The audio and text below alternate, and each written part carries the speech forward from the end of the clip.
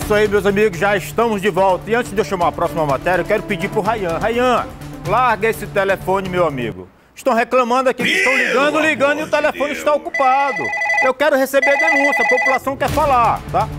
Agentes penitenciários do Compagem fazem apreensão recorde de entorpecentes que estariam escondidos em partes íntimas, meu amigo. Vitor Gouveia, coloca aqui na tela do Namira.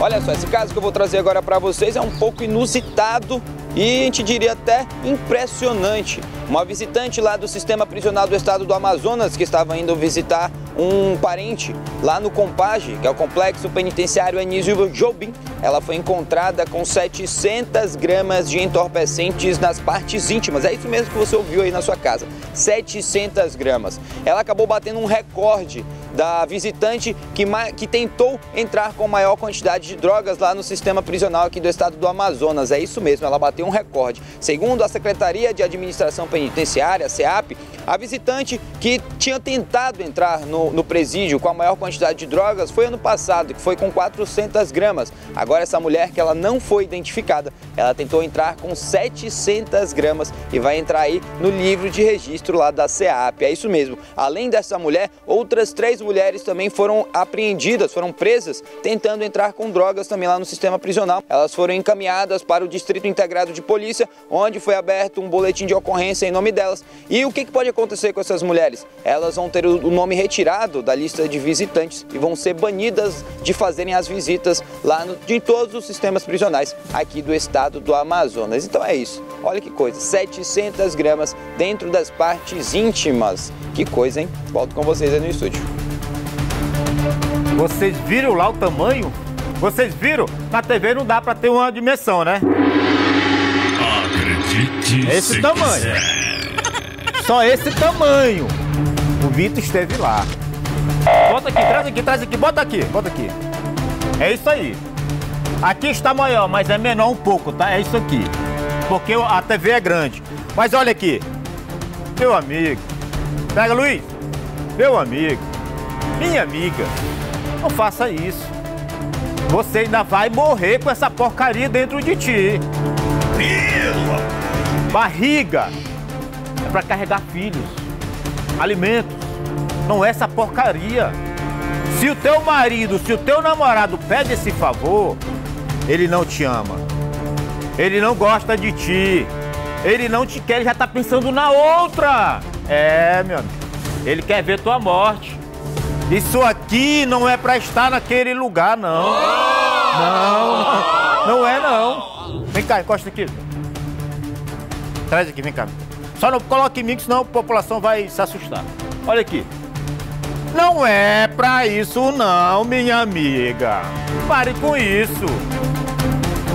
Que coisa feia, já é preto, o negócio já é negro, já é assustador. Aí o Vitor Gouveia fala nas partes íntimas. Eu queria, eu queria que o Vitor tivesse aqui só pra me falar um pouquinho dele. Se ele viu a mulher, é porque eu já vi coisas maiores em animais. Mas em uma mulher, não. Inadmissível. Luiz, vem cá, Luiz. Costa aqui. que que tu, Luiz? Tu já é casado, não vou poder falar muita ah. coisa, né? Porque eu vou acabar te comprometendo. Mas se tu. Antes, antes, né? Que tu agora é um homem fiel. Mas antes, sempre antes tu casar. Sempre foi, né? Tudo bem. Sou sempre, varão, sempre varão foi. Antes de tu casar, antes de tu ter qualquer compromisso com namorada, se tu pega uma mulher dessa, se tu encontra uma mulher dessa, pega não, que é um, é um termo pejorativo. É pejorativo. Se você encontra uma mulher dessa, você indo pra igreja, que tu nunca foi pra bares, né, beber essas coisas.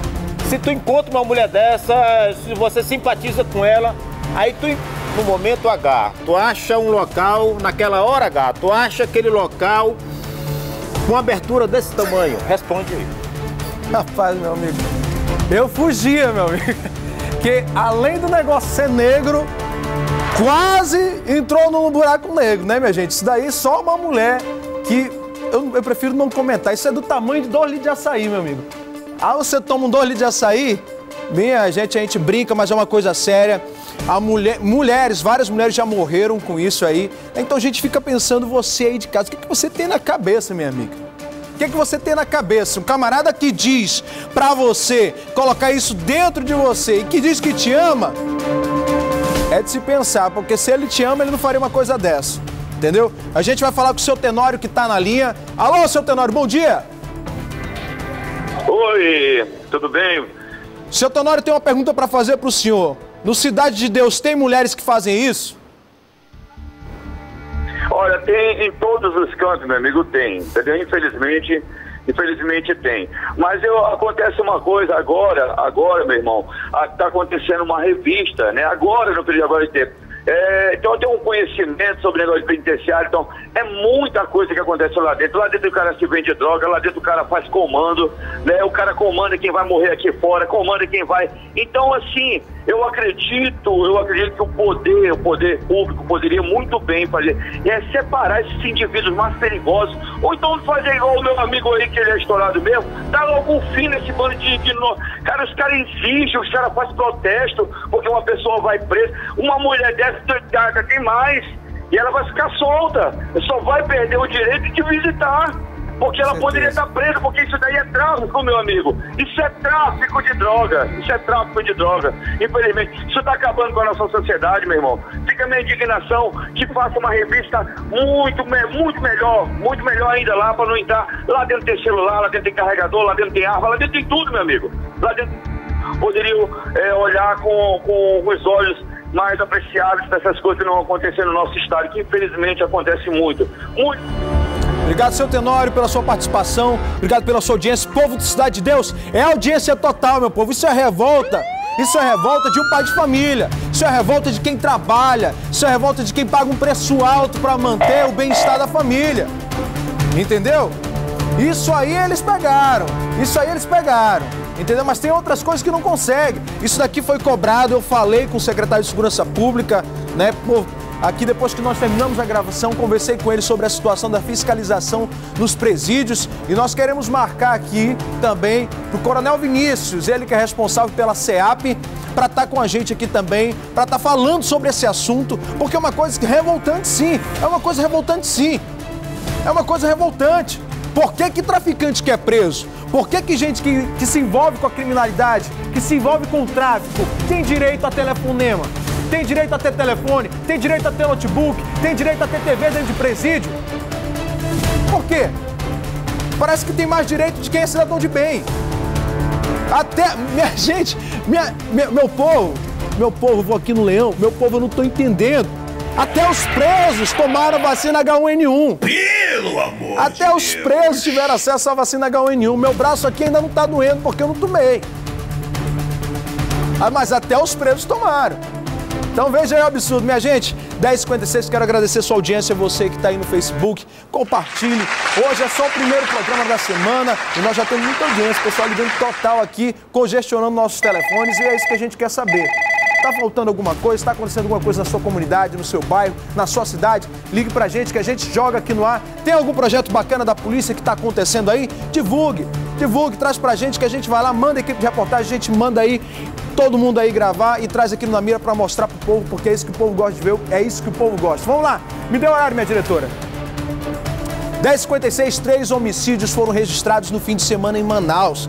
Mas quem traz essa notícia aí é o Alex Costa, cara nova aqui da nossa nova TV em Tempo final de semana foi violento na capital amazonense. O primeiro caso que eu trago agora para vocês é o do Alex Bruno Monteiro de Lima, de 29 anos. Ele foi morto a tiros aqui no bairro Betânia, na zona sul da capital amazonense, enquanto vinha pagar a pensão das duas filhas que moram aqui nessa localidade. Segundo informações de familiares, ele até já tinha passagem pela polícia por assalto e também por tráfico de drogas, mas estava trabalhando e vinha tentando sair desse mundo do crime.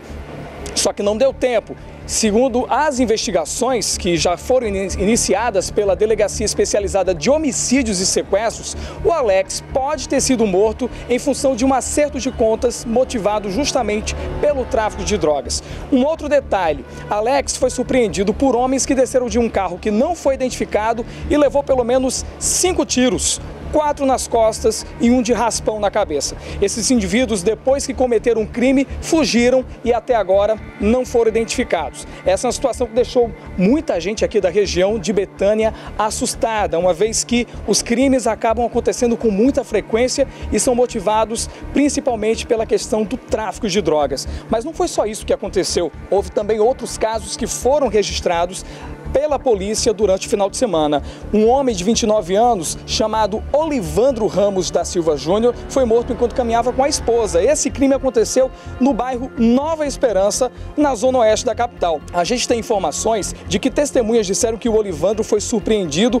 ao se aproximar de uma quadra de esportes. A vítima foi atingida então por quatro tiros. De acordo com a perícia, foram três disparos nas costas e um de raspão na cabeça. O Olivandro também morreu no local. A mulher não se feriu.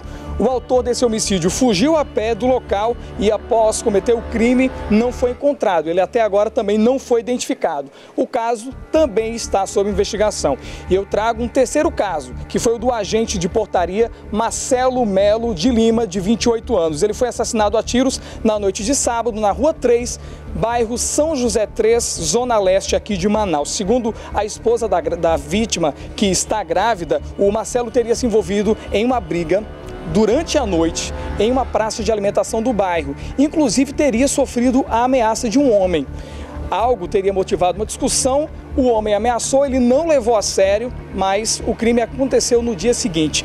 A informação que a gente tem é que ele recebeu uma ligação, ele estava em casa, perto dessa praça, recebeu uma ligação, os homens que o ligaram para ele pediram para ele sair de casa e foi aí que o crime aconteceu imediatamente. O Marcelo ainda chegou a ser socorrido, mas não resistiu aos ferimentos. Ele foi levado para o hospital João Lúcio, mas morreu na unidade. Mais um crime a ser investigado pela polícia, uma situação que mostra a violência que está surgindo aqui na capital amazonense. Obrigado aí, Alex Costa. Isso aí, isso aí foi só os que o Alex fez de domingo porque no final de semana aconteceu muita coisa e desde sexta-feira à noite muita gente morrendo, muita dívida do tráfico, mas muita gente também morrendo injustamente, meu povo. Muita gente morrendo injustamente. Olha só, sábado eu estava ali numa matéria e pessoas me abordaram ali para que eu mandasse um abraço e eu vou mandar esse aqui para Fabiola para o Maxi e para a Flávia lá do bairro da Glória. Obrigado pelo carinho. Nós estamos aqui sempre contando com vocês, porque a audiência é muito grande do programa na Mira. E sempre que tem aqui o intervalo, a gente tenta é, mandar para vocês o um abraço e também agradecer a cada um. Valdir, muita gente Luiz, morrendo. Vou aproveitar o embalo e mandar um abraço também para o Celane, lá de Anuri, que vende aqueles peixes deliciosos. Beijo, minha querida. Policiais militares do município de Guari prenderam piratas do rio e apreenderam armas de fogo com munições na embarcação do Rio Solimões. Quem vai contar essa história pra gente é Gabriela Moreno. Coloca aqui na mira. Pois é, os suspeitos de serem piratas dos rios foram localizados na comunidade Nova República, no Rio Solimões, em um bote de alumínio supostamente roubado. Foram presos o Oséias, filho de 21 anos, conhecido como Pita, o Ronald Castilho, de 18, e o Jonatas Andrade da Silva, de 21 anos. Com eles foram apreendidos quatro armas de fogo e munições que estavam escondidas em um acampamento onde eles esperavam as mulas do tráfico para roubarem suas cargas de drogas. Segundo o Pita, eles estavam amando aí do Simonei e Netinho, que eram eles que forneciam as armas para esta quadrilha. Ainda segundo o Pita, que informou a polícia, eles fugiram de uma operação da polícia no dia 4 de abril e deixaram para trás aí armas, munições e uma embarcação. Esse trio foi encaminhado para o 10 Distrito Integrado de Polícia para os procedimentos cabíveis. É isso aí, meus amigos. Vocês sabem que isso aí já virou normal, já, já entrou na normalidade do município de Quari. Bandido assaltando, roubando bandidos a polícia interveio aí e conseguiu fazer apreensão. Sempre digo, quando é confronto com bandido dessa forma aqui, altamente armado, quatro espingardas, até uma adaptada aqui. Isso aqui eles têm uma capacidade de fazer isso. É para facilitar o corte lá, para não andar com ela aparecendo. Então, meus amigos da polícia de Quari, não tem jeito. Temos que mostrar eles aqui deitados. O Coronel Bonatti falou que com bandido revidou a polícia, tem que mostrar deitado aqui pra gente. É dessa forma, porque esses vagabundos, eles vão lá assaltar a droga, tomar a droga lá do, do- dos outros traficantes, mas não é pra jogar no rio, não é pra tocar fogo, não. É pra repassar, é pra vender para nossas crianças. É pra liciar, pra viciar, recrutar nossas crianças para o crime, que é o crime de tráfico de drogas. Então, vamos mostrar eles deitadinhos aqui. E esses aqui também são parceiros, sabe de quem? É daquele famoso lá, o tal do, da Índia, que é o da compensa, vagabundo. Nós vamos mostrar tua cara aqui. De preferência recheado. Porque tu fornece drogas na Glória, na Compensa, Santo Antônio, toda aquela região. E não adianta mandar recadinho ameaçando. Porque aqui tem fé no lado de cima. E tem coragem também. Então tá dado o recado. Coronel Bonatti, queremos ver na Índia atrás das grades. Se não der pra prender, mostramos ele aqui deitado. Luiz, estamos chegando no final. Mas antes, Luiz, desculpa, desculpa te interromper. Eu quero mandar um abraço pra Miriam de Borba. Olha, é lá em Borba, lá em, na vila do. Na vila do, do Careiro da Vaza, lá na vila. A Joana Dark está nos assistindo, a Mira está nos assistindo, a, a Alcelane, que eu acabei de falar aqui, de Anori está nos assistindo. Todo o Amazonas, Luiz. Beijos, minha querida. É isso mesmo, e olha só, a gente está recebendo informação, muita audiência no Facebook. Infelizmente, a gente não vai poder mandar um abraço individual para todo mundo, mas a gente quer aqui mandar para geral. Um grande abraço para todo mundo que nos acompanhou no Facebook, você no canal 10.1, você que nos mandou mensagem, Zona Sul, Zona Leste, Zona Oeste, Zona Norte, todas as zonas de Manaus ligadas aqui no programa da Mira. Quero mandar um abraço especial pro Danielzinho, que está me assistindo, Danielzinho Landázaro, que é meu amigo, meu companheiro, que trabalha também na nossa equipe da TV em Tempo, na TV em Tempo não, no jornal em tempo. Mandar um abraço para Lourdiane Sara, que é minha amiga também de faculdade, todo mundo geral acompanhando o programa na mira. É um sucesso Agora, total, Luiz. gente já estourou, mano. Gente já, Já estourou? estourou. Vamos chamar. Mas, Luiz, eu vi, aca- acabei de ver ela ali Ah. fazendo selfie. Ela está toda de preto. Não vai ser surpresa pra ninguém. Já abriu o jogo. Está toda de preto. Já está todo de preto. Coloca ela aqui na tela Marcela pra gente. Asmar. Olha, olha. olha esse som, Márcia. É pra você? Ricardo não vale nada. Rapaz. Eu queria contar uma coisa que Ricardo faz aqui todo dia pra Andréia, a esposa dele, Ah. mas vou falar depois no meio do programa. Valdir? Conta pra mim. Deixa que eu guardo o segredo. Vou falar pra você Conta depois, só tá pra bom, mim. Antes de Não eu entrar no ar não. amanhã. Ele não vai Antes de eu entrar não. no ar amanhã, tu me conta que eu quero falar. Aí tu abre na mira contando essa Isso, história. exatamente. Vou falar nada pro Luiz, não. Vou contar Não, tudo pra ti, Só tá pra bom? mim. Eu não sou baú, Márcia. E ninguém te pediu segredo, Pois é. né? Eu não tô te pedindo segredo. Minha querida, Tá. ótimo trabalho. Bom programa. Beijo, Tchau, beijo, Márcio, bom programa. Beijo, beijo, beijo, beijo, Luiz.